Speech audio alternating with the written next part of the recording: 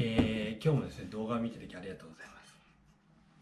今日はですね、えー、空間認識能力を高める方法ということで、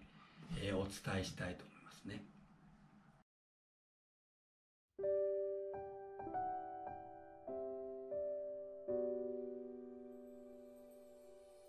前前回ですかねあの前々回だと思うんですけどあの最最近高齢者のあの交通事故車を運転しての交通事故が多いなっていうことで話しててその空間認知能力が衰えてるっていうこと衰えてるとちょっと危ないよっていう車を運転しない方がいいよっていう話をしたんですよ。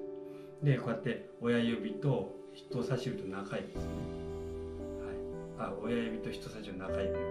う狐みたいにして小指とね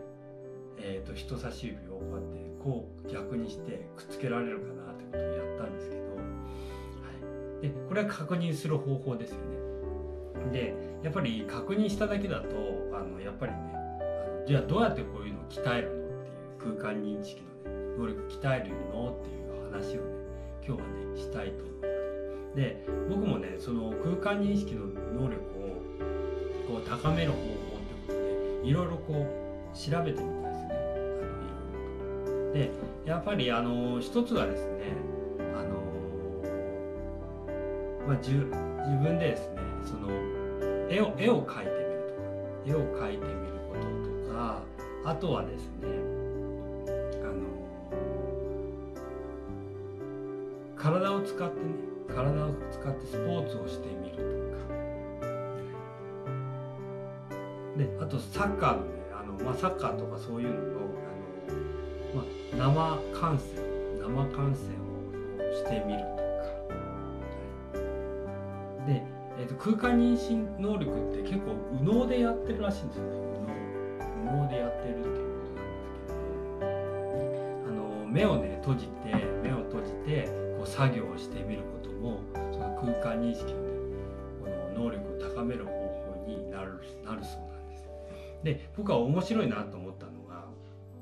あの姿勢を良くするっていうのがあったんですね姿勢を良くすることで空間認識能力が高まるっていうことをだったんです。でよくあのこれなんで姿勢を良くすると空間認識が高まるのかなと思うんですけどあの空間認識って結構車とその車と自分との距離感とかそういうのをかあのちゃんと正確に把握できるかとかそういう機能もあると思うんですけどで自分の体がこうやって曲がってたりすると結局その正確に物を測ることができないっていう話ならしいんですよね。自分の体がこう曲がってるとか。でよく考えてみたらですねあの結構その衰えてるあの脳が衰えてるとかいう方って結構姿勢がね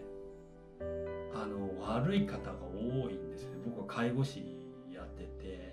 あ姿勢が悪いなとか背中が丸まってるなとかもうこんなになってる人はがその結構脳脳が脳もちょっと衰えてるっていう方がいて、まあ、どっちがね脳が衰えるか姿勢が悪くなるのかそれともちょっとまああの体も悪くなるからその見た目見た目って体も衰えてくるから脳も衰えてくるのかちょっと分からないんですけどそういう感覚を持ってるんですよ。なのであのやっぱりね姿勢がいい人って、まあ、若々しく見えますよね見えますしやっぱり姿勢がうん姿勢とやっぱりこの気分とかも関係あると思うんですね。でまずはまあパあのこのね空間認識をね高める方法としてまああの外でなんかこういろんなことをやる、まあ、スポーツをやるとかってとなかなかちょっと億劫ですしあとまあパズルとかやるっていうそういう認識高まるらしいけどずっとパズルでこう、あのー、ややるっていうのはなかなかちょっとこう趣味でもないからちょっと難しいと思うんですよ。でやっぱりあのー、物をね買わずになんか何もできるということ目を閉じてこう作業するまあそういうのはちょっとできますよね目を閉じて作業するとかあと姿勢を良くするっていうのは、まああのー、自分でねちょっとこう姿勢を直すようなまあ、ちょっとねあのそういう運動とかを取り入れてもらえば施設結構すぐあの良くなったりするもんでこれが一番こう手ご手頃なんじゃないかなっていうのは僕は思うんです。まずは姿勢を良くするってことをねえ心がけてねもらうとねいいんじゃないかなっていうのはあの僕なりの意見なんですけどはいあります。ちなみにですねこうやって